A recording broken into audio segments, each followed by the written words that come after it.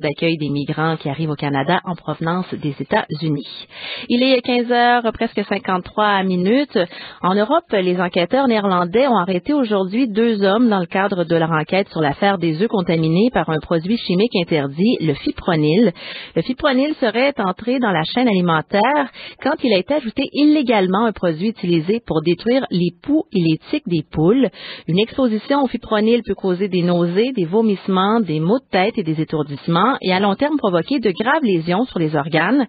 Au Canada, l'offre canadienne est complétée par des importations selon les obligations commerciales internationales de l'Organisation mondiale du commerce. Et on va parler de la sécurité et de la production des œufs chez nous avec Paulin Bouchard, qui est producteur d'œufs à Saint-Gédéon-de-Beauce au Québec, mais aussi président de la Fédération des producteurs d'œufs du Québec. Bonjour, Monsieur Bouchard.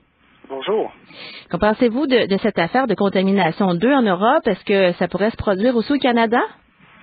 Écoutez, c'est déplorable ce qui est arrivé en Europe, mais heureusement, la bonne nouvelle, c'est que nos consommateurs ici au Québec et au Canada n'ont pas à s'inquiéter euh, de l'utilisation de pesticides ou d'insecticides comme, ceux-là. Ici au Canada, et particulièrement au Québec, on a des, des, programmes en place. Les producteurs sont regroupés dans une même organisation. Ils ont mis des programmes d'assurance qualité, de salubrité du produit qui, euh, qui préviennent l'utilisation de, de, produits dangereux pour, euh, pour la santé humaine. Donc, au Canada, ce type de produit est interdit, mais on importe aussi des œufs. D'où proviennent-ils, ces œufs-là? Les œufs importés, euh, on a des obligations au Canada d'importer des œufs dans les ententes de l'ALENA et de l'OMC.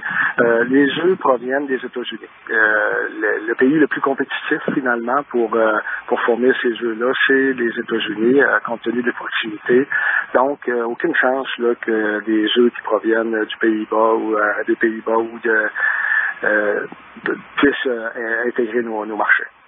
Est-ce que vous avez une confiance totale dans la production des œufs aux États-Unis? J'ai pas une confiance totale dans la production des œufs aux États-Unis, mais il faut savoir que c'est une minime quantité des œufs qui sont importés en provenance des États-Unis. On parle peut-être de moins de, de 4 des œufs. Une grande partie de ces œufs-là sont redirigés vers la transformation. Donc, euh, la très, très, très grande majorité des œufs que nos consommateurs consomment euh, sont produits par des producteurs québécois ou canadiens. Au Canada, euh, comment est la réglementation sur la production d'œufs? Est-ce qu'elle est, qu'elle est très stricte? Oui, elle est très sévère. Elle est, les, les s'auto, euh, s'auto-réglementent, si vous voulez, avec des programmes de salubrité et des inspecteurs qui viennent vérifier que chacun a uniformisé les pratiques. Mais on a aussi l'Agence canadienne d'inspection des aliments qui, euh, qui surveille. Vous savez, euh, régulièrement ou souvent, on entend on est peut-être surréglementé au Canada ou qu'on a, a beaucoup, beaucoup de réglementations à suivre, mais quand il arrive des événements comme ceux-là, on comprend euh, vraiment euh, l'importance euh, d'avoir des règles strictes qui vont faire en sorte que les consommateurs vont pouvoir manger leurs produits alimentaires en toute sécurité. Oui. Est-ce que dans, dans, le passé, il y a eu des, affaires de contamination d'œufs au Canada? Ça s'est déjà passé, quelque chose comme ça? On a vécu euh, des problématiques avec les salmonelles à la fin des années 90. Euh, puis les producteurs s'étaient pris, euh, avaient pris la chose vraiment au sérieux, puis avaient justement mis un, programme particulier pour s'assurer qu'il n'y a pas de salmonelle entéritidis, une salmonelle dangereuse pour, pour l'être humain.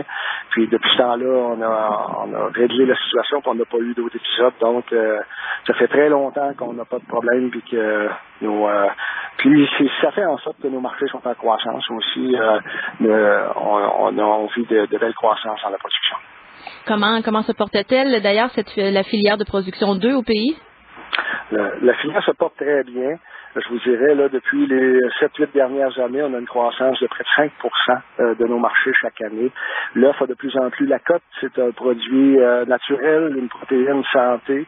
Puis euh, les gens en mangent de plus en plus.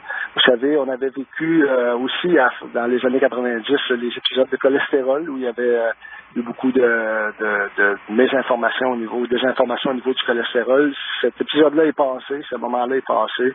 Les œufs, les gens mangent de plus en plus d'œufs pour, pour se nourrir. Est-ce que ce qui se passe en ce moment en Europe, ça pourrait quand même avoir un impact chez nous? On, souhaite que non. justement, le travail que, que vous faites de donner de l'information, faire ce qu'on fait présentement, est très important pour s'assurer que notre consommateur, nous, chez nous, soit sécurisé, puis ne cesse pas de manger des œufs par, par prévention. Monsieur Paulin Bouchard, euh, merci beaucoup. Merci beaucoup à vous. Bonne fin de journée. Bonne fin de journée. Paulin Bouchard est producteur d'œufs à Saint-Gédéon de Beauce au Québec et aussi président de la Fédération des producteurs d'œufs du Québec. Il est 15h58 minutes. Au cours